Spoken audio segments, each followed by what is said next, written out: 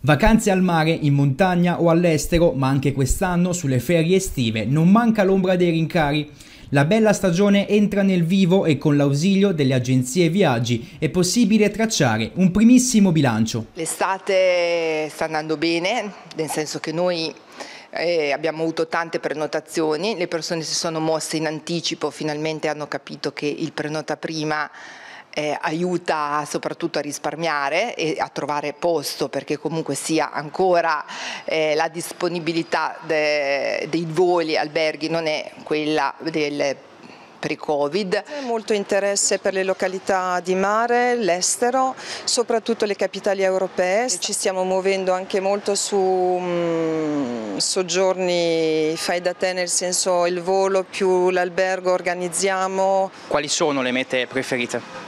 Allora, per quanto riguarda l'Europa, ok, le isole del Mediterraneo, l'Italia, Sardegna, Sicilia la fanno da padrona ovviamente, però quest'anno abbiamo riscontrato anche la voglia proprio di visitare, cioè quindi fa fare dei tour itinerari anche in Europa, tipo il Portogallo, la Spagna, piuttosto che eh, il nord della Francia, anche tour tutti organizzati in pullman. E poi abbiamo avuto di nuovo, il, di nuovo il, finalmente il ritorno di Australia, Giappone che ancora erano dei paesi che erano chiusi eh, da, da, dopo il Covid. Italia va sempre molto la, la, Puglia, la Sicilia, la Sardegna dico la verità da quando sono qui poco, però Sicilia e Puglia hanno sempre un ottimo interesse, sono, insomma, piacciono molto.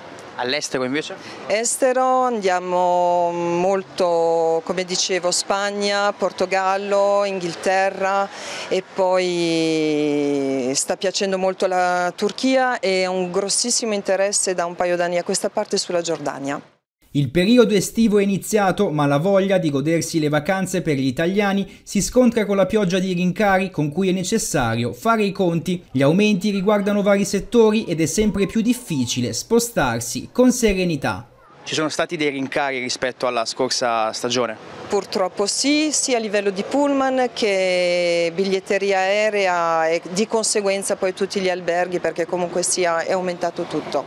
E Ovviamente dobbiamo combattere ogni giorno con la ricerca della tariffa migliore. Sui voli abbiamo visto delle tariffe, soprattutto quelle del lungo raggio, ma anche quelle del medio raggio se non acquistate con largo anticipo, ma anche perché eh, diciamo che dalle nostre zone, vuoi o non vuoi, il brutto e il cattivo tempo lo fa la Ryanair, perché per quanto riguarda l'Europa i collegamenti sono tutti loro, Bologna, Ancona, aeroporti qui vicini noi non siamo a Milano, quindi ci dobbiamo fidare a loro. Eh, se si prenotava prima si trovavano dei prezzi decorosi, oggi un biglietto può costare anche 600 euro, che è una cifra folle. Anche Pesaro per l'estate 2023 accoglie turisti provenienti da ogni parte d'Italia e del mondo.